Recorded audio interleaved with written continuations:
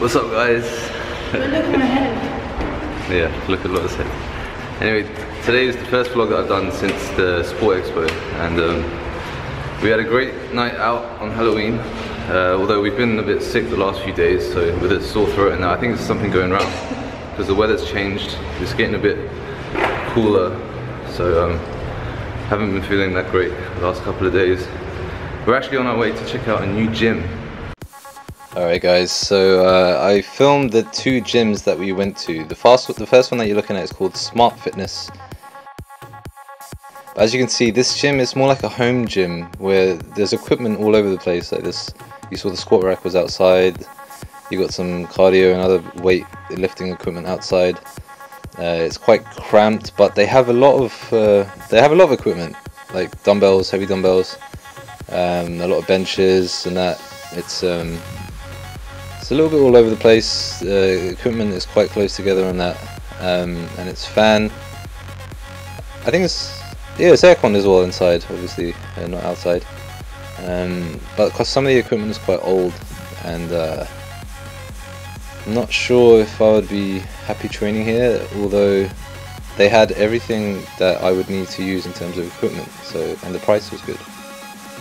Alright, the second gym that we went to look at is called Tony's Gym, which is a 24 hour gym, uh, open 7 days a week, and it was split up onto different floors. So the first floor was full of cardio equipment, obviously when you need to do cardio.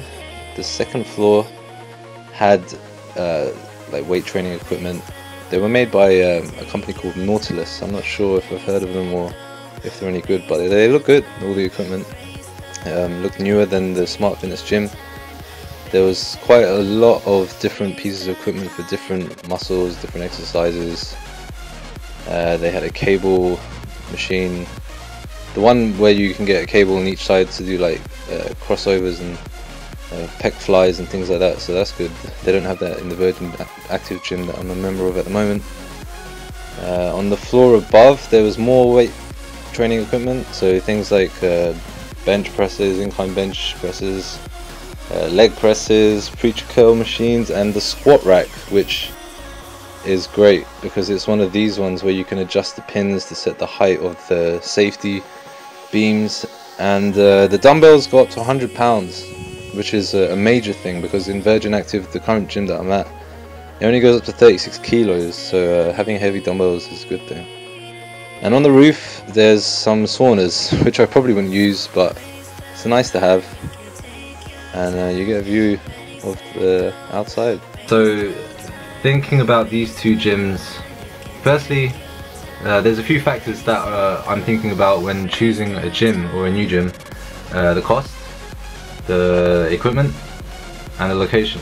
Virgin Active cost, it's very high. Both the Smart Fitness and the Tony's gyms, the ones that you saw us visit in this video, have a very good cost. Equipment. The Smart Fitness gym, the first one you saw, it had all the type of equipment that we would need, you know, heavy dumbbells, uh, flat bench, incline bench, squat rack, cables and other bits and pieces, but the equipment was old. it looked quite old. It looked maintained, like they look after it well, but it's like very old equipment. I don't know what the quality is like. And it was quite cramped, so um, if it gets busy then I, I don't know, it would be like a a mosh pit, you know, trying to get your sets in.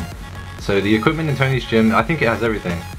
It has a power rack or a power cage, whatever you call it, squat rack for squats, flat bench, incline bench, cables, leg press, uh, preacher curl, it has everything.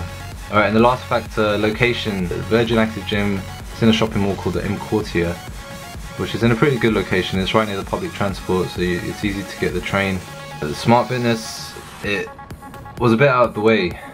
Um, you'd have to walk from the train about 10 minutes. And Tony's gym, you'd have to walk again from the train, but it was closer and it was very central in Bangkok. I think looking at those three factors, Tony's gym is probably the gym that I'm going to be choosing to train at. Uh, anyway guys, that's going to be it for this video. Uh, I'm going to try and keep these vlogs coming. You know, um, I've had a bit, bit of a time off since the Sport Expo with my vlogs so uh, it's time to get it going again so if you like the video please click like and subscribe to my channel if you haven't already But until next time, later.